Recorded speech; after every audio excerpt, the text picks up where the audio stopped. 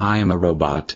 I am very good at algebra. I am very bad at English. Beep beep where?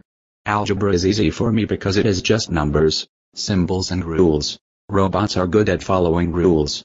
Beep beep where? E R R R. But I am so terrible at interpreting English. Beep beep boing.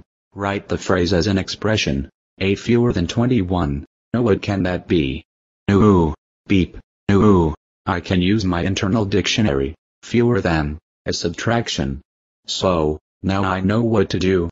8 fewer than 21 means 21 minus 8. Beep beep beep what is product? Ooh my dictionary says it is the answer to multiplication. So the product of 30 and 9 means 30 times 9.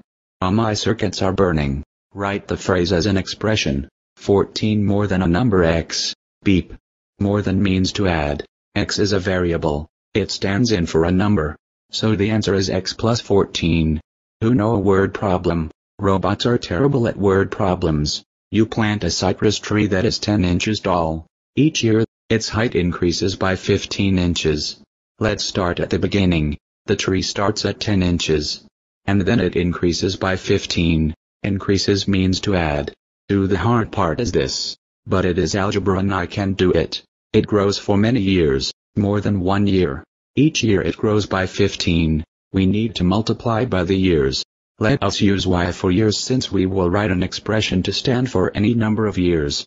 Let's try it. At the beginning, year 0, the value will be 10 because y is 0 and 0 times 15 is 0. Beep beep. After one year, y is 1 and 1 times 15 is 15 plus 10 is 25 inches tall. I hope that I helped you. Beep beep beep.